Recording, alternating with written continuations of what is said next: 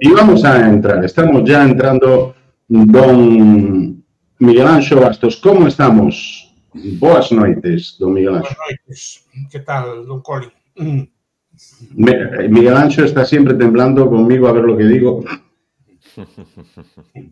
En cuanto entra en antena, dice, ¿qué dirá, qué dirá el Colin este que, que, va a meter ahí, va a meter ahí una cuña y, y, y, me va a dejar, me va a dejar en ridículo aquí? Yo sabe que le tengo mucho aprecio siempre y mucho respeto. Por tanto, es el único programa que intento moderarme bastante, bastante bien. Pero las cosas como van con... Saliendo el PP, que salió como con 48. Yo ni es que ni sigo ni las votaciones. Eh, porque el PP, ¿cuánto? 40, ¿no? 40 de, 70, 40 de 75.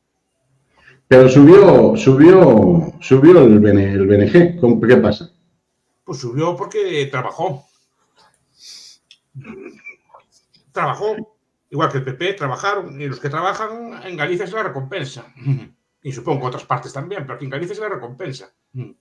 ¿Por qué no, no, sale, no sale Vox? Vox subió en votos, creo que sacó hasta 7.000, pero no. ¿Qué pasa? Que hay que tener un índice especial, ¿no? Para que salga, aunque salió con más votos que, que otros, ¿no? Creo. O sea, para sí, tener un escaño, ¿cómo funciona eso? El sistema electoral le pone una barrera del 5% y no, en cada provincia. Y con cada pasar tiene que tener un 5%, 5 en una provincia. Y no tuvo el 5%.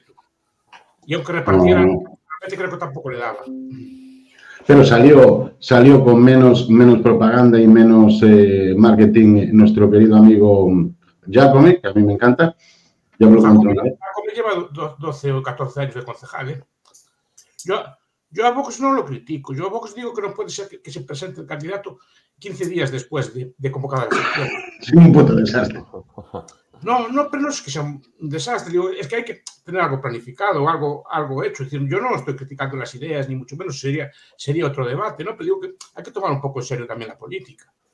¿Pero por qué, echan a, por qué han echado a los liberales? ¿Se han vuelto todos ultraconservadores? No lo sé. No lo sé. Pero digo que lo que falta es algo de esfuerzo y modular un poco. Yo creo que uno de los errores, se puede discutir, de, de Vox es presentar el mismo discurso en toda España. Y yo creo que hay que modular el discurso en los territorios. Si no modulas el discurso en los territorios, estás muy equivocado. No es la misma situación catalana que la de Madrid que la de Galicia. Entonces tienes que modular un discurso, hacer un programa adecuado. Y yo creo que muchas veces, por no querer hacer varonías o por querer presentar un discurso homogéneo, pecan de no saber adaptarse a los sitios. Y sobre todo al tipo, de, al tipo, de, elecciones, que es una opinión, ¿eh? no, pero no es que le tengan ninguna adversión. Yo lo digo, es que, claro, si tú te presentas 15, a 15, a 15 días antes de las votaciones, tu candidato no puede ser conocido, tu programa no se puede ser conocido, no creas complicidades con sociedad civil, no, no trabajan tus, los sectores afines, entonces es normal que no, que no lleve resultados. Lo raro sería el contrario. Exacto, exacto. Porque el, el, PP es más, es más, eh, más estable ahí en Galicia, claro. Lo votan porque tiene más estabilidad, ¿no? Tiene capilaridad, se preocupa de trabajar pues, en los colectivos, pues, en, los, en los clubes de fútbol, tiene, tiene hostelería propia, eso es muy importante, que no sea, tiene bares que son próximos, en las parroquias, en todos los sitios, en la, en en la sociedad civil. Entonces, eh, tiene gente que lo defiende, pero al bloque le pasa lo mismo, el bloque también tiene, permea la sociedad civil, y, eso, y pero lleva muchos años trabajando, eso es normal que tengan cierto resultado. La gente piensa que es presentar una campaña y ya está, hablar allí y salir. No, hay que darse a conocer, dar a conocer al candidato, que tenga referentes. Yo creo que es, es, uno de los problemas que puede tener vos. Yo no estoy criticando el, el programa, ni mucho menos, pero digo que salir también requiere cierto esfuerzo. Yo creo que no le dedicaron esfuerzo, o no le, no le prestaron mucha atención al, al Vox de Galicia. Es una opinión también. Pero, pero candidato o programa ancho, porque yo creo que no. Las dos cosas. Eh, eh, yo creo que hay poca gente, en, no en Galicia, en España, que se lea el programa de los partidos. Y se no, eso no hay eso nadie. Pero bueno, cuatro ideas fuerza, cuatro ideas adaptadas. Eh, el, el, repito, el candidato fue tra tras discusión interna, pues salió, un señor que yo repito que no, no parecía mal candidato, pero hay que darlo a conocer. No, no puedes mm. presentar unos días antes y, y, y, que salga ya porque sí. Sobre todo cuando es un partido que está iniciándose. Ya.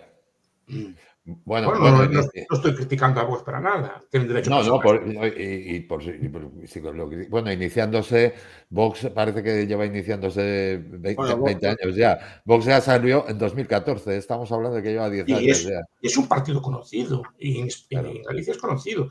Y tuvo, las primeras veces que se presentó a los españoles, la segunda vez, me parece, fue, sacó un resultado bastante decente. Que si lo repitiera en Galicia, en las elecciones gallegas tenía escaño seguro. Sería varios. Hombre, yo, creo, yo creo que vos cumple otra función, que es eh, desactivar a una parte del electorado, y ya lo ha hecho a nivel nacional. Y aquí en Galicia el candidato es, te puedo asegurar que es muy malo este hombre, ¿no? aparte lo conozco.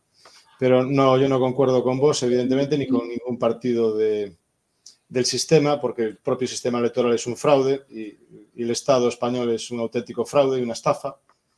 Y, volviendo a lo que decía Sanso, eh, sí, vale, trabajan, pero trabajan con pólvora del rey, o sea, trabajan con el dinero que nos roban en los impuestos. Entonces yo ahí no concuerdo. Eso no hay. Pero por lo menos trabajan. Por lo menos trabajan. Eh, hombre, sí, trabajan, pero trabajan, es muy fácil trabajar con dinero de los demás. Entonces, hacer una campaña publicitaria con dinero eh, gratis es muy fácil. Ahora, si tuvieran que, que, trabajar sin dinero y sin medios y sin recursos, sería muy complicado, ¿no? Entonces, toda esa cartelería que pone el BNG por todos lados todos esos actos que cuestan un dineral, eh, hacer cualquier meeting, porque hay que pagar eh, el sitio, hay que pagar una empresa de sonido, una empresa de iluminación, sillas, no sé qué, no sé cuánto, ¿no? Todo eso cuesta mucho dinero. Entonces, eh, es una cuestión de dinero, ¿no? No solamente de trabajo. Lo que estoy criticando aquí, yo estoy comentando aquí, es que no es solo la campaña. Mucha gente piensa, no hacemos una campaña con muchos medios y salimos. Como si la gente como si la gente decidiera, hay gente que sí, pero como si todo el mundo decidiera el voto por lo que ve en, un meeting o por lo que ve en un, cartel muy bonito, sea del partido que sea, ¿no? Yo digo que estos partidos te pueden gustar o no, son del sistema o no, pero por lo menos se esfuerzan en ganar. Hombre, eso, sí, Un, club de fútbol, claro, es que tiene, tiene, estrellas y gana. Bueno, pero por lo menos se buscó las estrellas y las estrellas tienen que trabajar también. No, no, está claro, pero después otro de los problemas, eso, que yo veo es que eh, los problemas reales de la economía real, por ejemplo, eh, toda esta gente que está en los partidos políticos no ha generado en su puñetera vida un puesto de empleo. O sea, la mayoría no sabe lo que es pagar una nómina ni pagar un impuesto. Y eso es un problema. Después, toda esta gente que está en la política, cuando negocia, negocian entre ellos y nos negocian a los demás, nos venden como mercancías sin negociar con nosotros. Entonces, por eso yo decía, perdona, que no creo en esta gente, porque me parece una auténtica estafa, ¿no? Pero está claro que si hubiera un partido político que mirara por la economía real, pero bueno, no lo hay, porque al final Vox es parte del, del tinglao, es, todo el mismo conglomerado de payasos del sistema que lo único que quieren es saquearnos a todos, ¿no? Pues yo no le veo mucha, mucha mm, función a la política en este momento porque son, es, parte, es un problema muy grave y son los que nos han metido en este embrollo en el que estamos todos ahora. Entonces, Alex, Díaz es el Nicolás Moras gallego. A mí es que me da igual que esté el PP, que, que el BNG, que el PSOE, que Vox, porque al final son todos parte del mismo, de, la misma empresa, digamos. Son franquicias, distintas marcas, pero lo mismo, al fin y al cabo. ¿no? Eso podemos, discutirlo después. Pero lo que, se preguntaba es por qué ganan unos y nosotros, porque en general todos los partidos comparten el mismo esquema. Porque unos ganan y otros no. Digo, pues por lo menos unos otros más en serio que otros, nada más. eso, está claro, eso está claro, que si se esfuerzan un poco más, aún con todos los medios que tienen, evidentemente van a, van a, generar más, más votos, está clarísimo, ¿no? Porque son como, dos debates. Uno, uno que es la clase política, que podemos discutir y, tiene buena parte de razón. Pero otra cosa es porque, porque una parte de la clase política le gana a otra, otra parte de la clase política, que es, otro debate.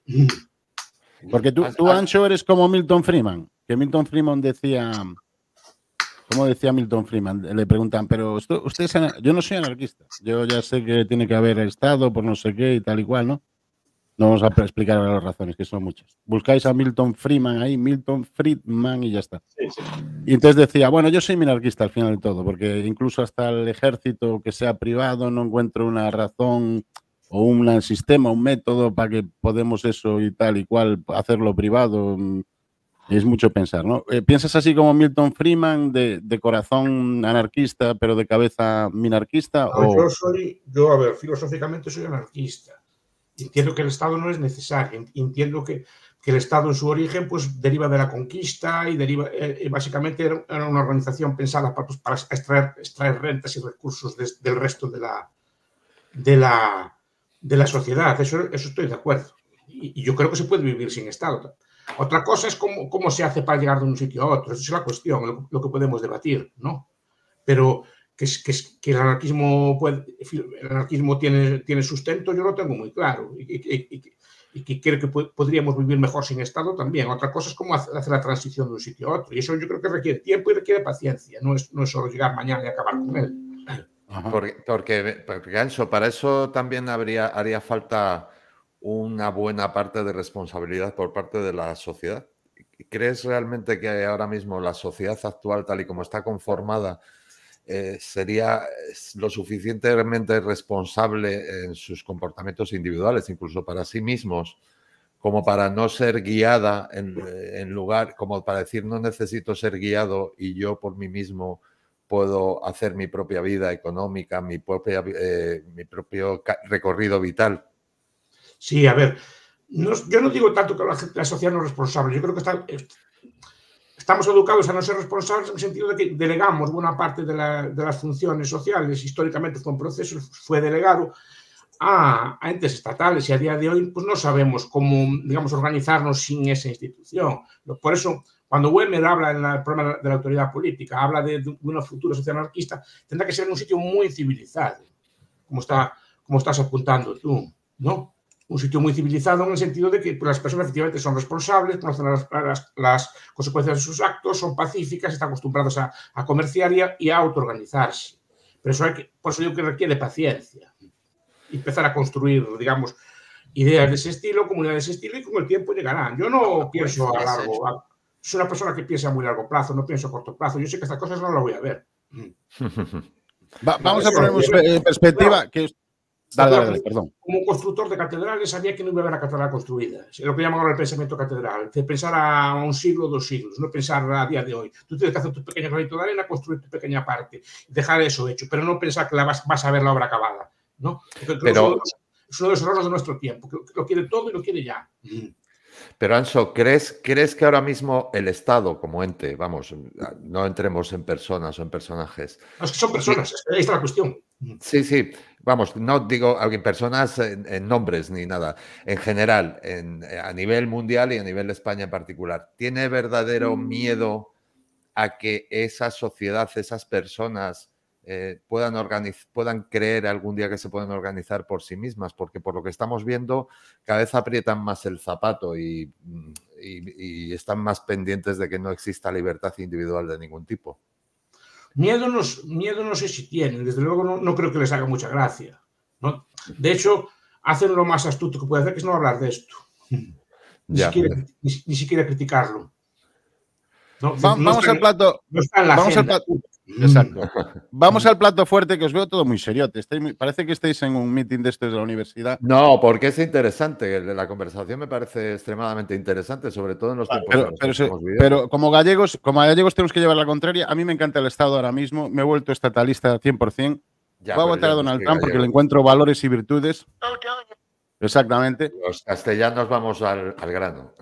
Entonces, yo no le encuentro en, no le encuentro ninguna virtud ni, valor, eh, al, o sea, valor ético y moral al Estado, al gobierno, como queréis llamarla, la democracia, la democracia, pero sí le encuentro valor al monarca, a ese gran monarca, como decían esos en la antigüedad, ¿no? El monarca, el gran monarca, que también habla nuestro querido eh, Herman que lo tenía yo antes por aquí, aunque se me ha ido el, hombre, em, que, que debéis leerlo y hay muchos vídeos en internet, ahí está Herman y em, yo creo que, Bastos favorece esto. Creo que Bastos se sale de la línea de Rothbard, de John Locke, de Bastiat, que, porque a mí no me tiene ninguna virtud. Incluso yo eh, busco el anarcocristianismo casi, ¿no? Porque Cristo al final era, era anarcocapitalista, ¿no? Y, el, y decías tú, creo, en un vídeo que me mandaron hoy, y, el demonio liberal, ¿no? Entonces, e, esos valores cristianos son muy... Lo dice Harold Lasky, ¿eh? en liberal. Ah, vale no es un invento mío. Cosas y Cristo es anarcocapitalista está, está en un texto que se llama así, Cristo, Cristo es anarcocapitalista, que está, está publicado, no está traducido, pero está publicado en, la revista Procesos de Mercado. ¿no? La, idea de que Cristo rechaza el poder político cuando el, demonio lo tienta, dice, mira, estos reinos están en mi poder, dice el demonio. Yo te los doy a ti si, si, me prestas tal. Y Cristo lo, lo reniega, ¿no? Pero que, hay esa idea es, eso. ¿no? a ver, Hoppe es un autor muy sumamente interesante. Yo leí, creo que leí todo lo que sacó, todo lo que, todo, casi, bueno, creo que casi todo, incluso el, ah, que sí. el último libro de él. Y es muy interesante y es muy original, por lo menos es un pensador político original. Ahora ya, ya empieza a ser canónico, que ya empieza a aparecer en algunos manuales de, oficiales y de, teoría política. Me, Eh, no, pero me llamó la atención, de ser un tal hora ya empieza a ser discutido y hablan de él. Y, pero digo como un autor dentro del canon, digamos, de la teoría política contemporánea, ¿no? Hoppe toma el concepto de democracia, a ver, y, de monarquía, en el sentido que la monarquía, pero piensa la monarquía absoluta. La monarquía es una forma en la, que el aparato del Estado es privado. Y, y Robert no es, eh, perdón, Hoppe no es tanto contra la, contra la democracia, que también, sino contra la, forma republicana de gobierno. En el sentido de, que la propiedad de la patria estatal es propiedad colectiva. Y él piensa que una propiedad privada está mejor gestionada en ese aspecto, incluso una propiedad privada dedicada a hacer el mal, que una propiedad pública. ¿no? Esa es la, la idea de Hoppe, que no es solo de él, él la toma de un viejo anarco, anarco conservador, un anarco cristiano, como dice esto, que se llama Wendell Levin, y, Henry, y Henry George, que nunca lo menciona nadie. Henry George, que era, un, un sí, también una especie de seminarquista, es toda la cuestión de la tierra, y de un banquero suizo, se llama Félix Omarí, que tiene un libro. Ah, Félix Omarí, sí, también. Crisis de la democracia, y, explica estas cosas, ¿no? Yo no soy tan como él con la democracia. ¿En, qué sentido? La, democracia, por ejemplo, para funcionar necesita aspectos no democráticos. hay aspectos que no pueden ser discutidos la libertad de expresión, la libertad de asociación, la libertad de movimiento, etcétera, son, son aspectos o temas que no, no, no, pueden ser votados, no se puede votar a abolir en, un sistema democrático estas cosas. O sea, hay como unos principios o unos metaprincipios de la, de la democracia que son muy interesantes y yo no, yo no los veo necesariamente mal. Y después, en cuanto a la democracia, lo, lo, lo que creo que hay que discutir es el alcance de la misma. ¿no? Es decir, podemos votar, quitarle la renta a todo el mundo. Es legítimo que votando le podemos quitar la renta o, la propiedad a otra persona, o que podamos limitar sus movimientos, o, que podamos pues, establecer unas pautas de conducta. Eso es lo, que hay que debatir, si, si hay unos límites a lo que puede ser votado. Ese es el debate. Y pero en principio, como régimen, para muchas cosas no tiene por qué ser necesariamente mal régimen. Por ejemplo, las comunas suizas que votan sus asuntos, también votan. Pero votan sobre unos determinados teóricos, vamos que la, Margaret Levy, un, libro precioso que no, pocos, pocos citan, Rule and Revenue, ¿no? Es decir, que, la, función de cualquier Estado es la de maximizar el número de rentas que puede obtener un, un, gobernante. ¿no? Esa es la idea de él. También tiene un trabajo que se llama The Predatory Theory of Rule, que es muy interesante. ¿no? La, función, el rey lo que busca es sacar rentas, pero claro, sabe que si, sabe que si cobra muchos impuestos, si su pueblo se arruina, él también se arruina. Entonces tiene un interés en dejar vivir a la gente, que la gente prospere y así también él prospera él. ¿no? El modelo, por ejemplo, de Diachesting o es, de Mónaco. Mm.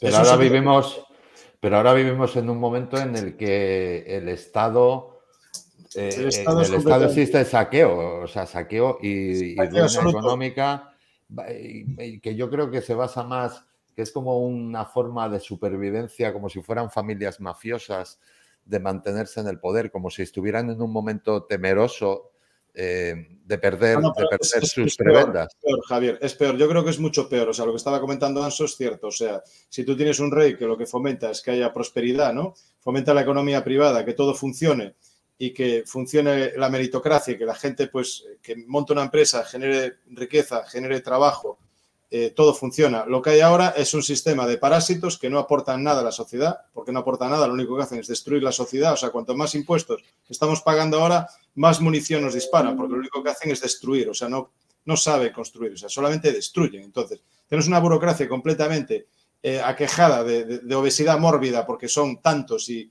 y, tan inútiles, porque estamos hablando de que esto es inútil, completamente inútil, y todo lo que está pasando ahora, sobre todo con esta eh, maldita Agenda 2030, ¿no? que es todo lo que es Agenda 2030 o, o, te destruye o, no funciona, ¿no?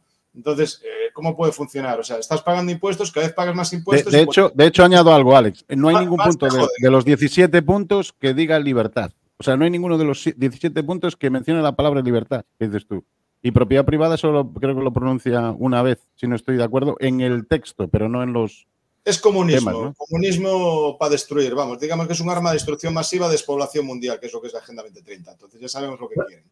A ver, estas cosas que estoy diciendo no son extrañas en la academia. ¿eh? Es decir, la comparación que hacía usted del Estado con una mafia, una cosa así, eso es lo dijo Charles Tilly, que era un señor totalmente respetable cuando compara el origen del Estado con una especie de mafia de, protección. Fue uno de los primeros en, bueno, los primeros, digamos, así recientes en, decirlo, ¿no? Es decir, esta idea de los parásitos, claro, la gente no lee libros, eso es el problema. Eh, McNeil, no, digo, son libros académicos, no son libros extraños. McNeil, en, en, Plagas y Pueblos, dice que hay microparásitos, que son todas las bacterias, todo este tipo de bicheríos, piojos, y, y macroparásitos, que son los, los estados, pero digo que son, son autores absolutamente mainstream, no es una cosa que diga gente rara así en, los márgenes de la academia. Simplemente hay que leer con un poco de calma lo que dicen los científicos sociales un poco serios, ¿no? Y explican estas cosas que están, que están explicando ustedes, así de una forma, digamos, más, más común, ¿no? Con, con, lenguaje más común, pero ellos lo dicen, hombre, lo encubren con palabras técnicas, pero básicamente están diciendo esto. Y Margaret Levy es, es terrible también cuando habla de estas cosas, pero repito, es una profesora normal y corriente, no es, no es una así persona del, del friki o del fringe, de, o sea, de los bordes del sistema. Son personas que, están, que publican en revistas académicas, series y cosas. Y lo, más que lo dicen de una forma así como más, más sutil, ¿no? No lo dicen de, de forma... Sí, ahí la tiene, Margaret Levy, ¿no? Pues lo dicen de una forma más, más mm, suave, más aguada y tal, pero están, están diciendo eso mismo que están diciendo ustedes. Y claro, por eso estábamos hablando de la preferencia temporal, diciendo, el rey como el, negocio, digamos, es suyo, eh, piensa a largo plazo. Es que la democracia, el gobernante dice que es, como si estuviera alquilado en el poder, no, tiene ningún no sabe que no va a conservar ese aparato, entonces lo que tiene interés es la tesis de Hoppe, es en extraer el, mayor número de rentas posibles a corto plazo. A corto plazo, en, el periodo que dure su mandato, que dure su término. ¿no? Y esa es la tesis de él. Entonces, los gobernantes republicanos, más que democráticos, tenderán a, a explotar a la, población, a, extraer el mayor número de impuestos posible para, para obtener ellos, digamos, más, más poder. No solo rentas, ¿eh? que la gente piensa que solo tienen renta, tienen más poder y tienen otro tipo de, de prebendas. ¿no? Y, ahí, está la, ahí está la cuestión, es, es una cuestión de, de tiempo. En, lo, práctico, por ejemplo, eh, ¿cómo gestiona un rey un lago, un parque con columpios, eh, un, un patrimonio, eh, una nación, en este caso, por ejemplo, como que no lo gestiona el Estado. Porque claro, decía, por ejemplo, Milton Freeman hace muchos años en una entrevista en los 70 que él iba al parque de pequeño, cuando lo llevaban, y nadie tenía miedo de llevar a los niños al parque y tal. Porque el parque era un, el, ¿sabes? El, High Park este, donde estaba en New York, el, Central Park, perdón, eso es en Londres, me equivoqué ahora de parque. Era, era privado. Pero cuando se lo tomó el Estado de Nueva York, se puso peligroso y ya la gente tenía miedo a llevar a los niños, ¿no? ¿Es esto un poco el, el, tema de que hay algo más atenuado con el, con el rey? O sea, con una familia privada. Además. Los doctores es que no cuida el bien porque no, al, no tener un provecho inmediato de él o no, o, no poder, digamos, perpetuar en el tiempo las rentas que dé ese, parque o la seguridad que dé ese parque, pues no va a ser tan cuidado como otro tipo de cosas. Pero no es una manera idílica, ¿Por qué entonces en España se, hartaron de los reyes? Ah, no, porque la gente los veía. Es que la monarquía tiene otro aspecto que es muy interesante también, o que es paradójico, que también apunta a Hoppe. La monarquía es, sumamente ilegítima.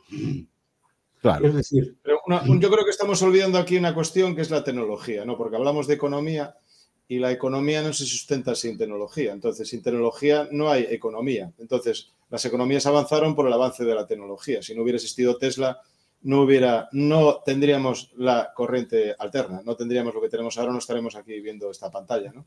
Entonces, si no hubiera existido Eduardo Barreiros, no habría el sector eh, del automóvil in low house que se hizo en España con el automóvil gracias a un tipo que salió de Orense de una aldea, hizo todo lo que hizo en Villaverde. ¿no? Eh, entonces, si no hubiera existido pues aquel señor en Castilla que montó aquella fábrica para hacer máquinas de rayos X, ese pueblo no hubiera tenido corriente, ¿no? Entonces, se habla de la economía, pero no se habla de lo que produce la economía. Entonces, si no se hubiera inventado el arado, estaríamos pasando hambre, ¿no? Alguien inventó el arado, ¿no? Entonces, yo creo que es una cuestión de organización. Si no nos organizamos, si no se trabaja en equipo, que es el problema. Ahora mismo no es que se trabajen. Yo lo que pienso, te lo digo desde el punto de vista de un pequeño empresario, ¿eh? que no soy nada, pero yo lo que veo es que tenemos un Estado que es un auténtico nido de, psicópatas, de inútiles, incompetentes, porque son incompetentes. Entonces, ¿cómo cojones va a funcionar la economía con gente que no entiende lo que es la economía, no entiende lo que es el mundo eh, real, digamos, ¿no? del agricultor, del industrial, porque no entiende, nadie entiende de esto.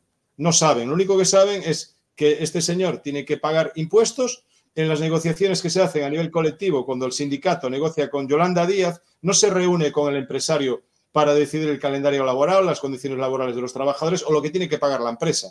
Entonces, eh, yo creo que está todo mm, puesto del revés. O sea, aquí eh, el, que debería estar dirigiendo el, digamos, el barco, una persona adecuada. Entonces, eh, cuando alguien dirige un capitán que dirige un barco, sabe de, sabe leer los astros, sabe llegar de, de Venezuela a Barcelona con el barco, ¿no? Pues sabe manejar el barco, sabe lo que tiene que hacer, cómo distribuir la carga, ¿no? Aquí los políticos lo único que saben, yo es lo que veo, ¿eh? lo único que sabe un político es apretar el botón rojo y verde en el Parlamento español, porque es para lo que valen. O sea, los parlamentarios españoles son tan absolutamente indigentes mentales que lo único que tienen que saber, entonces estamos dirigidos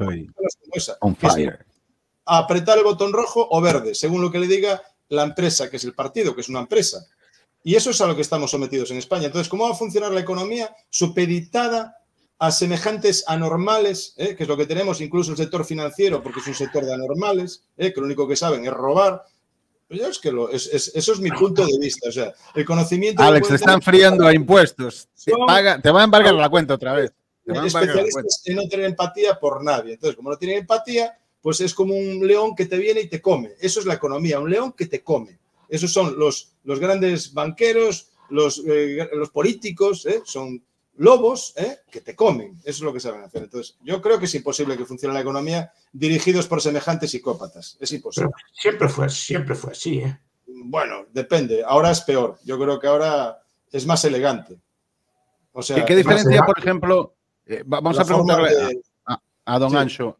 Espera un momento, Alex. Eh, primero vamos a, un meme, a un meme que tengo aquí que me que, tengo que para animar la cosa, porque estáis un poco desanimados. te veo que el, último embargo de cuentas, el último embargo de cuentas no te sentó muy bien. Tendremos que hablar con Abel Caballero y con Risto Mejide porque ayer tuvieron una, un encontronazo, ¿no? Eh, Capitalismo, ahorro y trabajo duro, no hay otra cosa. Mima, con lo poco que me gusta a mí trabajar, eso del esa definición no me va a mí muy, muy al pelo. Pero ya lo sabes que yo no me levanto antes de las 12, porque como soy rico, gente. Ahora, si me dejáis ahí donaciones, me levanto a las once y media. Pero es muy interesante esa frase que dije, que la dije hace muchos años. Pero es interesante porque mm, antes comentaba eh, el señor Díaz, comentaba esto de la tecnología, pero la tecnología sin capital no funciona. Quiero decir, el señor Barreiros puede. Eh, puede diseñar un motor, pero necesita después construir una fábrica de motores. Para eso es necesario un capital previo. ¿No? Y, para cualquiera, el señor Tesla puede diseñar. Pero el capital se lo pueden dar los clientes, Sancho. El, capital, te lo dan los clientes. Pero, primero hay que tener el capital, los tienen que tener capital los clientes. No, tiene, por qué ser así. Tú puedes tener el producto, el diseño y puedes obtener eh, el dinero o puedes obtener los recursos para, para, hacer el producto. O sea, el resto de la sociedad tiene que tener ahorros para financiar. Está, claro, pero si no existe barreros, no hay nada. No, pero si existe barrero no hay nada, pero sin el capital tampoco barrero es nada. Quiero decir, seguramente hubo muchos barreros en la antigüedad. O sea, ¿qué pasaba en la Unión Soviética? ¿No? Había inventores buenos, había inventores fantásticos. Pero una pregunta, Anso. El dinero que se recauda en impuestos en Europa, por ejemplo, eh, al sector productivo, tú sabes, ¿me puedes decir la cantidad del retorno que tienen los impuestos que pagamos al sector industrial o al sector productivo? Es ínfimo. es ínfimo. Se va al sector financiero, a la estafa del sector financiero, a, los bonos que generan, al papel pelota, vamos a llamarlo así, papel pelota del sector financiero, es a donde va a parar. O sea, todos los impuestos van a parar a la burocracia y el sector financiero. ¿Qué genera el sector financiero? Es un sector parasitario. No es productivo, es improductivo. Bueno, a ver, Claro, un, sistema financiero, sano es imprescindible. Hombre, está claro, pero ahora mismo es insano. pero por el, tema, el, Banco Central, el problema es el Banco Central. Es un sistema casi socialista y no, lo digo de broma. Claro. pero no, crees que no debería retornar al sector productivo ese, ese, dinero que nos roban en impuestos? Al final va a pagar los intereses de la deuda, que, es para lo único que va, el dinero de los impuestos va para los intereses de la deuda. Después está el sueldo de funcionarios y después, eh, si hablamos, si miráramos en España como una empresa, tenemos una parte productiva que es minúscula y una parte improductiva que es mayúscula. Entonces, es como si en una empresa, en la oficina somos 400 y en la parte productiva somos 10. Es imposible. Esa es la, tiene que haber un equilibrio, tiene que haber un equilibrio. Lo que te estoy diciendo es que no hay equilibrio ahora mismo en, ni en Europa ni en España. contesta, contesta, don Miguel Ancho.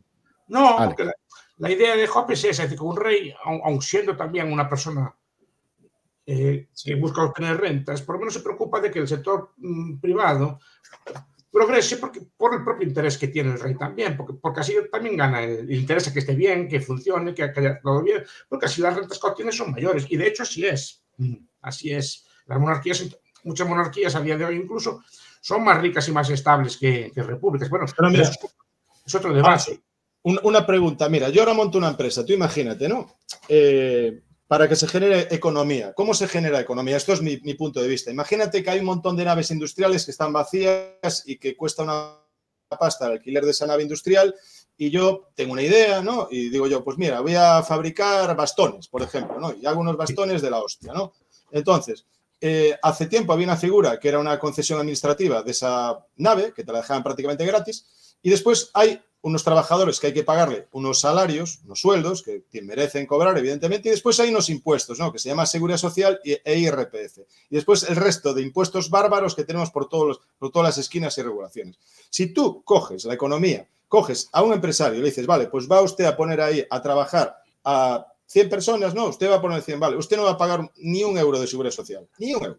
Durante los años que, que la empresa necesite para empezar a facturar y a generar economía. Pero no se hace aquí. Aquí, desde el minuto uno que tú montas una actividad económica, estás pagando la seguridad social al precio que la paga cualquier otra empresa que lleva muchos años, ya tiene sus clientes, ya tiene su facturación, ¿no?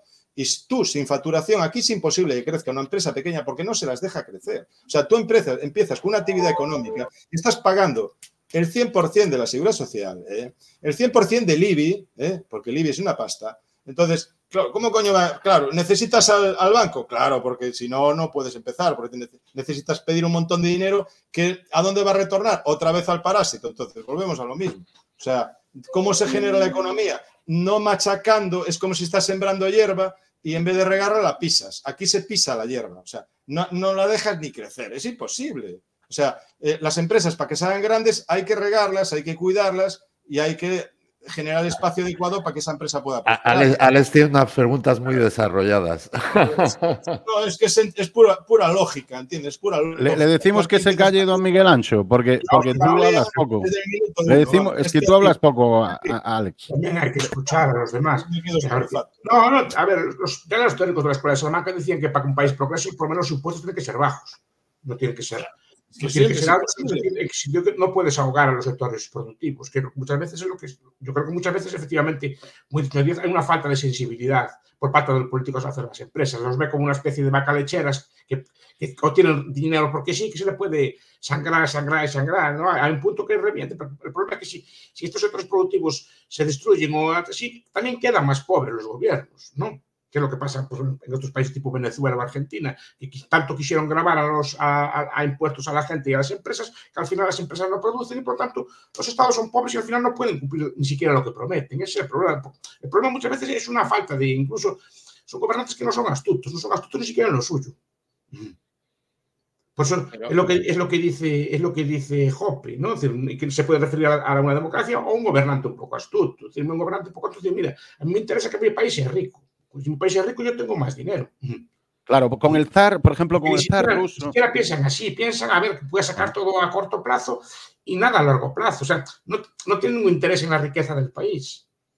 Tienen algún interés propio en, algo, en poder o en lo que sea, en mantenerse en el puesto, pero no tienen interés porque no saben que no van a estar muchos años allí en el poder.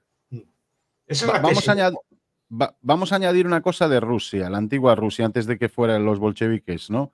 Eh, y esto es de Anthony Sissuton, no es mío, o sea, esto está documentado Anthony Sissuton. Tenían los rusos con el zar Nikolai dos modelos de coche. Cuando los bolcheviques llegaron al poder, tenían cero. Y entonces tuvieron que meter eh, pues el motor de combustión de los, de los americanos y los italianos, tuvieron que meter a, hacer cosas en las fábricas, porque las fábricas no las, no las destruyeron, las del zar, o sea, seguían en, estaban idle, que se llama, que, o sea, que no, funciona, no funcionaban, no estaba gente trabajando, después sí, pero con, eh, sobre todo, tecnología americana. ¿no? Mucho de esto habla Anthony Sutton, ¿no? Entonces, aquí esto apoya realmente este argumento de, Miguel Ancho, de don Miguel Ancho Bastos, de que con el rey había bastante mercado libre y em, había dos modelos, de, o sea, había tecnología, estaba bien, digamos, financiada la tecnología, pero eh, había un descontento general, pues, sobre todo en el campo, ¿no? Con los hulags, ¿no? Que son los, eh, estos, eh, ¿cómo se dice? Campesinos, ¿no? Los granjeros hulags, ¿no? Estos y otros más, ¿no? Que habían casi 6, 8 millones, ¿no? Entonces, em, ¿cuáles son las ventajas? ¿Atenúa menos, por ejemplo, la presión fiscal, el control, el rey? Pero después parece haber un descontento o ese descontento eh, es, digamos, em, proyectado por potencias extranjeras, que también puede ser, siempre que hay una, una conspiración tal, para derrocar al rey, ¿no? Como pareció, en la, digo, pasó, ¿cómo estoy yo hoy hablando? Tiene razón al final Javier, hablo mal castellano. Eh, en la Revolución Francesa, donde iban mejorando de repente mucho los franceses, pero había un descontento campesino, aunque estaban mejorando, incluso eh, era muy liberal, ¿no? El rey, el rey francés y todo esto, ¿no? y de repente entraron los jacobinos y se fue todo al, traste, ¿no? A ver, lo que dicen los teóricos de las revoluciones, ¿no? Este, Gur, por ejemplo, porque, se revela, porque la gente se revela, dice que la, es una vieja tesis, que la revolución no se da cuando la gente está muy mal, sino cuando empieza a mejorar. Mm. Pero entienden, ah, cuando empieza a mejorar, pero entienden que no va a la mejora al ritmo que hay, o, o ve que otros mejoran y ellos se quedan como están. Porque cualquier proceso de mejora a nivel social implica que unos colectivos se enriquecen antes que otros, porque es normal. ¿no? Y eso es lo que es más difícil de aguantar. Normalmente las revoluciones no, es lo que pasaba con Rusia. Rusia estaba, bueno, aparte que Rusia estaba en una guerra, es un factor también de desencadenante, pero Rusia estaba económicamente muchísimo, tenía un montón de industrias y, estaba desarrollándose a un nivel bastante rápido para la época. No era un país muy desarrollado, pero tampoco es, el, atraso que nos quieren pintar eh, como que era una, cosa, una cosa horrible, que no está desde Stolypin y las reformas que hizo, el país empezó, digamos, sobre todo desde la evolución de la servidumbre, empezó a, empezó a prosperar mucho, empezó, empezó a, pero no, crece al mismo ritmo, y llegaron a esto. Pero es interesante lo que dice de Sutton, porque Sutton dice que fue la Ford y otros que financiaron al régimen bolchevique. No, no sé claro, sí, Bueno, no la Ford, pero Wall Street, y después metieron a la Ford y a los suyos ahí, claro. Porque yo Henry Ford soy un fan de Henry Ford. Igual estoy hablando de más, pero creo que fue una planta, los tractores que hacía Lenin los hacían en tractores de una, o de Ford o de General Motors o de una empresa americana, no sé cuál de Sí, sí, sí, porque metieron a Wall Street. Igual no tienen culpa, ¿no? pero sí que sí que hubo una colaboración. Y la General Electric y otras empresas que colaboraron. Sí, para darle socialismo a los rusos y que los rusos fueran para abajo. Y eso le beneficiaba a Wall Street y a, incluso lo de Alemania. Por eso te digo es, esa teoría por ahí, ¿no? Que Nicolás Moras, además, eh, mi amigo, lo saludamos aquí si está viendo, eh, eh, acaba de hacer un vídeo de, eso de Anthony Sutton, como Wall Street, hay tres libros de él, en paz descanse, cómo Wall Street creó a la Alemania nazi, cómo Wall Street creó a la Unión Soviética, etcétera, etcétera. Pero ese detalle es curioso porque Job ahí enlaza eso muy bien y está subiendo la monarquía. Eso que dices tú también de Gur, que, la monarquía está avanzando, avanzando y la gente cuando sube, o sea, lo que me estás diciendo es que puede ser que mi ley, que ahora no está en su mejor momento, pero cuando esté en su mejor momento, se lo, se lo, se lo pinchan a mi ley, cuando esté Argentina subiendo. No lo sé, puede ser. en cuanto salga de pobre, yo no le veo mucho futuro. En cuanto salga de pobre, no me digas, ¿sí? Cuando salga de pobre el país, quiero decir. Sí, sí, Argentina, sí, sí, te entendemos. Cuando se recupere, yo lo veo complicado que siga. Pero hay un aspecto que, estamos apuntando este. La monarquía tiene una cosa buena que es paradójica, que es muy impopular y es ilegítima. Y eso frena el poder del Estado. Es decir, paradójicamente, cuanto más impopular es un rey, más la gente se resiste a los impuestos, más se resiste a las exacciones, más se resiste a las cosas, porque es un señor que está ahí por nacimiento, todo el mundo lo sabe, no, no tiene mérito ninguno, está, está por pura herencia. Entonces, se convierte en un ser ilegítimo y de ahí que la gente tenga resistencia fiscal, ¿no? O, lo que llama Hoppe, conciencia de clase. ¿no? Que la gente se, se, revela frente al rey. ¿Y qué le pasa a la república o a la monarquía? Que es un régimen al revés, es altamente legítimo, porque todo el mundo participa en él, ¿no? Entonces, digamos que como todo el mundo participa en él y el, Estado es como si fuéramos todos o, todos pertenecemos a él, una cosa por el estilo, es mucho más difícil oponerse a eso. Por tanto, los Estados modernos tienen una mayor capacidad de intervención que, tienen, que tiene una monarquía. Una monarquía, cuando subía mucho los impuestos, había revueltas fiscales y, eran muy frecuentes. Y ahora nadie se revoluciona y le cobran casi el 80% de todo lo que ganas. porque la, grandeza de la, o la astucia de la democracia es que es muy legítima. No se puede, o sea, nadie se atreve a discutirla seriamente, es muy legítima, entonces, claro, todo lo que se hace en nombre de la democracia puede hacerse. Pero yo te digo que si estuviera la derecha. Los impuestos al 50-60%, cosa que era impensable en una monarquía. Cuando había más de un 10%, casi siempre había una revuelta. ¿no? Pero tenemos impuestos de 40, de 50 o perfectamente y perfectamente asumidos como normal porque pues, supuestamente pues, no, no, lo votamos nosotros y lo aceptamos nosotros mismos. Cuando la realidad es que es un grupo de la población que le pone impuestos al resto. Claro. Y que, pero que los gobierna otro, ¿no? Esa es la crítica que le hace copia al sistema. Pero, una cosa muy importante, y os pido la opinión. Si estuviera la derecha ahora, si estuviera la derecha ahora, con el aceite de oliva a 12 pavos, eh, el rollo que quieren cortar los viajes cortos que no viajar, el rollo que le está montando en Ferrer, el otro no sé qué, eh, los agricultores le estaría montando una revolución de cojones, porque por un perro de no sé qué del ébola le montaron una Rajoy de cojones. Pero como está a la izquierda, están todos callados, porque la mayoría, como es más o menos de izquierda en España, en España no hay realmente, dicen ultraderecha y todo eso, pero eso es una, un rollo de mm, comunista burgués, como diría un España colega no mío. España no hay derecha, no sé si. No hay derecha, no hay derecha. Pero esto ya viene de... personas de derecha, pero no hay, no hay, los primeros partidos no son realmente de derechas.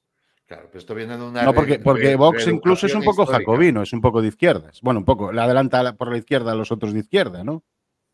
Depende que el programa, algunos, algunas ideas que tiene son intervencionistas, sí. Mm son muy intervencionistas. El, Incluso jacobinismo, yo, yo, entiendo la lógica que ellos quieren que, pues, que haya, no haya administraciones que las ve como un nido de gasto y una cosa por el estilo, pero echan la, le echan la culpa a las autonomías. Cuando con un Estado central, en el Estado francés no hay autonomías y es más gastador que el nuestro. Y es una cosa que no parece que no, no, se quiere ver. Es una, cuestión de número. es una cuestión de número. Pero claro, pero le echan la culpa a la, exactamente a la autonomía, como si fueran las autonomías que son los nidos de gasto, que, que pueden serlo, pero es que un Estado central puede ser más gastador aún. 40.000 millones se gastan en autonomías al año, según el Centenator. Lo que pasa es que el Centenator es muy Es una cuestión de números, Sanso. En el año 75 había 700.000 funcionarios en toda España. Y, había, y había empresas productivas. ¿eh? Y no va a ser que fueran muy productivas. ¿Y ahora cuántos hay? Ahora estamos hablando de que hay una cifra cerca de los 4 millones, más 2 millones y pico de inmigrantes que cobran sin, que están aquí cobrando pasta sin hacer nada, más de acuerdo. Pero eso, pero eso no son las autonomías, eso pasó en toda Europa. ¿eh? También en Francia pasaron de, unos pocos centrales de miles de funcionarios a varios millones. Pero sin autonomía, simplemente son funcionarios del gobierno central. Porque no crece, tiende a crecer, tiende a crecer hasta reventar, hasta hacernos reventar a todos. Sí, pero el problema es que por encima el sistema centralizado aún es peor. Lenin creo que fue Lenin. Estoy hablando de memoria y no, me hagan caso en estas, en estas cosas. Es decir, que la centralización es la, son dos terceras partes del socialismo. Porque si está centralizado, es, el socialismo es facilísimo de hacer. Por eso Estados, como, Estados, como, Estados Unidos, con todos sus defectos, eh, son más difíciles de hacer socialistas, porque hay más, más resistencia. Hay muchos estados que se resisten a ese tipo de cosas, porque hay una resistencia que derivada de la autonomía o del poder que tienen los estados. Si esto fuera centralizado sería mucho más fácil. Sí, pero España es un, país, es un país bastante pequeño, es como un estado de Estados Unidos. En, comparación de población y de tamaño físico, es, es, como un estado. Como algunos, sí. Pero también tienen las autonomías son como muchos estados. ¿eh? Ya, Bueno, pero yo creo, yo creo que la base del, del, tanto funcionariado en España yo la veo clara. El, el poder necesita tener a, a sus amamantados alrededor para, para, tener, para tener un poco de protección y un poco de fuerza. Lo veo porque es que además estáis utilizando mucho bibliografía, muchos autores, y al final lo que, plantea, lo que se plantea es bien fácil. Tú deja a la gente que, que haga su vida y que, que cree riqueza, que, que cree riqueza y, y nos irá mejor a todos.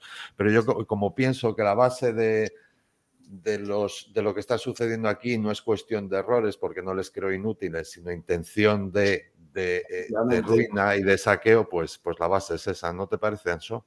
Sí. La parte es que es muy difícil cambiar, por ejemplo, por eso no son solo los funcionarios. En España hay muchos millones de pensionistas. Claro, y, mm. que pagaron su pensión y tienen derecho a, vivir ahora sus cosas. Pero claro, son como son como una especie, están ahí y, son los principales garantes de que el Estado siga existiendo en su actual forma, pues para pagar los impuestos a ellos, porque el gasto principal del Estado no son las autonomías ni son otras cosas, son las pensiones. Así es. pero las pensiones. Yo, yo, estoy, yo, yo, yo voy a añadir algo. Ah, es una pregunta. Una pregunta. No estoy diciendo esto. Una, una, cuestión. que te quería preguntar. Ahora estamos, esto es una estafa piramidal, el Estado español, ¿no? Y la pirámide ahora está invertida. Entonces, los que sostienen la estafa cada vez somos menos. Entonces, esto va a reventar. Esa es mi opinión. ¿No crees que va a reventar esto y pronto? Reventar no, lo que pasa es que habrá que asumir que las pensiones, y es el problema que tienen político, por eso están subiendo las cuotas, estas cosas así. Quieren retrasarlo y que le toque el problema siguiente. Pero las pensiones al final son una nota contable ahí que hay, igual que en Estados Unidos o Inglaterra. O sea, en todos los países occidentales. Las pensiones básicamente es el ser un sistema de reparto, lo que hay en el año se gasta en el año, no, hay nada guardado ni nada ahorrado. No está capitalizado, claro. Son títulos de deuda. En Estados Unidos lo llaman IOUs, me parece que lo que son. sí, IOU contratos que se hacen unos a los otros. pero es, decir, no hay nada guardado, simplemente lo que hay en el año se gasta en el año. Pero lo que dice Alex es correcto, que, decir, que cada vez eh, una base menor de trabajadores tiene que, tiene que pagar unas pensiones cada vez mejores, la sanidad de esas personas y, de los pocos, y la educación de los pocos niños que hay, aparte de mantenerse a sí mismos, claro. Entonces, claro, el problema es ese si se puede contar con una base demográfica tan baja, se puede mantener, digamos, todas estas prestaciones que están prestando ahora. Esto va, esto, esto va a escocer. Esto, esto va a escocer lo que voy a. Esto, esto va a escocer lo que voy a decir yo ahora mismo, además que Anso ya se tiene que ir porque me acaba de sonar la alarma. Yo soy. Eh, yo estoy en contra de las pensiones. Las pensiones solo debía cobrar alguien que está enfermo. Porque ah, además, tú si quitas a alguien de trabajar, se muere en seis o cinco años o se pone loco porque el, trabajo es también un propósito para esas personas. Saca a alguien del corte inglés, saca a alguien incluso de la universidad de... ¿Tu ancho te vas a, o sea, vas a ser pensionista o quieres seguir trabajando? Mira, Biden, Biden tiene 81 y quiere ser presidente a los 76. A años no, no tenemos opción.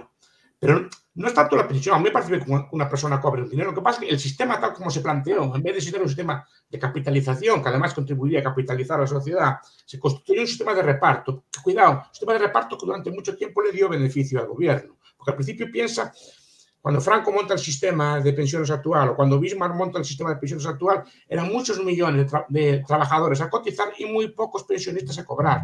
Ese dinero. Y las familias eran de 10, 9, 8, ¿no? Claro.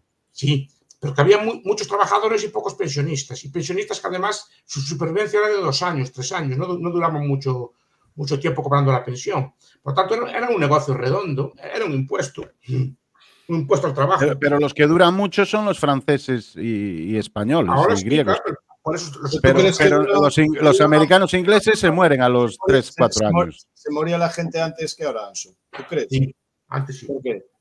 Porque se sabe, está estudiado la, esperanza de vida. Mira, Bismarck, cuando pone la, jubilación al principio, la pone a los 70 años. ¿Por, qué, por qué, crees que, vivían, mm, que se vive más ahora que antes? ¿Por qué afirmas eso? No, porque está, hay datos estadísticos. ¿Por, datos estadísticos, tú crees? Sí, pero ¿por qué? Pero defínemelo mejor, por favor. No, que se puede contar el número de personas que hay, que hay digamos, cobrando pensiones, pues está contado. Pero ¿por qué razón dices tú, afirmas que se vive más ahora que vivían. Pero no sería por las guerras, por las guerras. Yo creo que Alex va por el rollo. Claro, como había guerras te mataban antes, pero hay gente, por ejemplo, los senadores de Roma tenían que tener 60 años para ser senadores. Sí, no, había, había personas que llegaban a viejas, pero no llegaban en la misma proporción que llegan hoy. Era, por un tema, yo creo que es un tema tecnológico. Antes no había fontanería, no había ventanas de aluminio que se llamen, calefacción, cosas de vehículos. Eh, y condiciones más óptimas de, limpieza, había mm, los alimentos están más tratados, tal y tal, ¿no?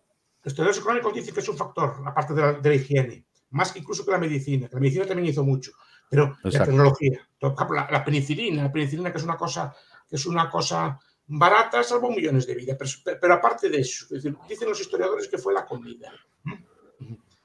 Tener alimentación segura y de calidad y variada. O sea, que, está, a día de hoy estamos mejor nutridos y eso nos permite defendernos mejor de cualquier enfermedad. yo, te, rebato eso, eso. Mira, hay una tribu que se llaman los Unzas, que viven en el Tíbet, que son caucásicos y que viven más de 100 años y no tienen ni gobierno, ni tienen farmacéuticas, ni tienen nada. Y viven de, comen sus cosas normales, sus plantitas, sus bichitos, sus animalitos, y no tienen ni la farmacia, ni tienen al Estado, ni tienen a nada de esto. Y viven mucho más que nosotros y están mejor. ¿Por qué? Porque se alimentan mejor, sencillamente se alimentan mejor, no tienen estrés, no pagan impuestos también, que pagar impuestos te mata también.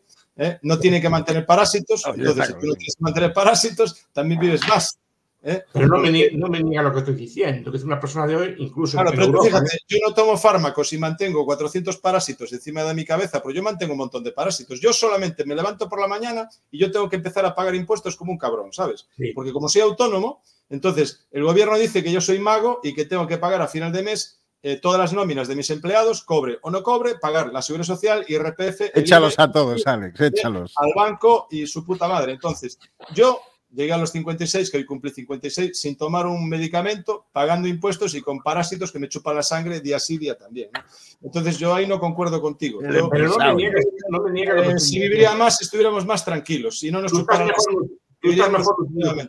¿Eh? tú estás mejor nutrido que tus abuelos, estoy seguro. Porque yo, tú, si eres de la misma, edad que tengo yo, sé cómo comían mis abuelos, comes tú. Es decir, tienes una variedad de alimentos y de calidad que no tenían ellos. Ellos comían siempre carne de cerdo y caldo. Eh, y aún así vivieron No comían plátanos, ni mango, ni, ni aguacate, que ahora viene de California. No, pero quiero decir, pero, eh, pero, eso fue un proceso que se dio a partir del siglo XIX, la mejora de alimentación, pero también la mejora de higiene, por eso se vive. No es que se vive más tiempo, vive más gente, llega más gente anciana, es muy distinto. Antes, lo que decís vosotros es correcto, había gente antes que llegaba anciana, pero no llegaba a la misma proporción que hoy. De hecho, la esperanza de vida es el porcentaje de personas. La esperanza de vida es el, año, es el número de años en el que una cohorte de edad, si no estoy equivocado, muere la mitad más uno. Es decir, cuando, cuando hay, hablamos de una esperanza de vida de 85 años, como es en España, o 80 y tantos años, como es en España, quiere decir que hasta los 85 años vive la mitad más uno de los que nacieron en el, año, en el año eh, hace 85 años. No es que no llegues a 85 años, antes también había centenarios pero no, había tantos como hoy. Esa es la cuestión. Digo en nuestra cultura. Pero en, nuestra cultura, en, nuestra cultura hoy en día. Sí, nosotros no venimos del Tíbet, venimos de otra cultura. Nuestra cultura. Exactamente. Mm. En nuestra cultura es occidental y por tanto seguimos con el problema del complejo del pueras eternus. Ese pueras eternus que decía Von Franz, que hablaba Carl Jung, que somos infantiles para siempre, porque no hemos ido a la a la cueva con los ritos esos iniciáticos de meterte en una cueva o tirarte ahí al mar al, chaval para que se, se pusiera mayor y adulto. Es buen punto ese, no hay un rito que te diga cuando eres adulto. Antes había. Antes había, ahora no hay nada. Ahora no hay esos ritos, no hay ese, marcado del tiempo. Entonces, claro, se prolonga la adolescencia hasta, hasta mucho más tiempo, pero es, normal. Hasta los 65. Y después ya no funciona nada. Están diciendo que nos quieren hacer comer insectos, ¿Tú qué crees que pasa si tomas insectos, Sanso? Eso ya los toma en Galicia. No, pero no estamos acostumbrados, pero creo que son bastante nutritivos. Yo no, no, no es eso. ¿Sabes que los insectos tienen quitina y la quitina no la puedes digerir? Tú si tomas la ah, quitina no, cangrejo no te lo tomas con la, con la concha. No lo sé, yo nunca, la, quitina, la quitina provoca cáncer. Entonces, si tú comes insectos, no eres un pájaro. No estás diseñado para comer insectos. Entonces, yo voy a comer comunistas, gente. Yo voy a empezar a comer, a hacer filetes de comunistas y paso hambre. Yo, creo que si, si sigues los consejos del gobierno, si sigues los consejos del gobierno vas a vivir poco ahora mismo, muy poco. No, yo nunca los comí.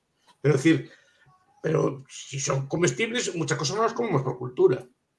Miguel Ancho come chuletones de chuletones de gallegos. chuletón o comerte una Come chuletones gallegos. No, no, no, le hagas caso que no, no, ha visto un gusano, excepto un político cerca de él. Lo que pasa es que es muy políticamente correcto. Recuerdo un, un yankee, conocía yo, cuando le enseñó un pulpo la cara del susto que puso. Bueno, hasta ¿Cómo, que se, hasta ¿cómo se, va a comer eso? Decía, ¿no? Hasta que se acostumbre. Culturalmente muchas cosas no las comemos, es así. Pero ese, ese yankee era de, de, Boston o de Nueva York. No sé ese no era, era de. Con él enseñamos un pulpo y no le gustó la pinta del pulpo. Igual que Yo, gente, os aviso. A todo el mundo le, le, llama la atención, ¿eh? Yo doy un aviso aquí a los comunistas, socialistas y represores. Eh, y se va a marchar, Ancho, Ancho, cuando vuelvas a ir a la universidad, dile a los comunistas, como no sean ANCAPs, si se hagan ANCAPs, me voy a comer yo, porque como yo pase hambre, lo dije en Alex Jones el otro día, que estaba oyendo Elon Musk. Como pase hambre, gente, yo hago barbacoa, de, como ahora están haciendo en Haití, en Chile. Hago barbacoa de comunistas. Yo no tengo problemas de comer, gente, porque es muy nutritivo. Porque solo queda, digo, Vox Esponja. Y nos despedimos, gente, nos despedimos. Porque los gallegos siempre tienen que discutir, nunca se quedan de acuerdo. Y hoy estuvimos además bastante moderados. Parecemos más, eh, más seguro andaluces. la gente moderna no entiende la ironía ni entiende las metáforas. Que, que no... La retranca, ¿no? Tienes toda la razón. Porque eso, eso también es cuestión de cultura, Anso. Por eso no se entiende. Yo antes hacía bromas como Colin, pero no se pueden hacer. No. Las daba y la- ¿Cómo no se pueden hacer? Bueno, se pueden hacer, pero no se pueden hacer donde, donde trabajo yo. Es decir, eh, no, que no Lo pasa tienen nada, censurado, no, lo no. tienen censurado, decir, Ancho. que antes se podía hacer retranca. Yo daba, daba retranca y también recibía. ¿eh? También recibía, que me dejaron alguna vez.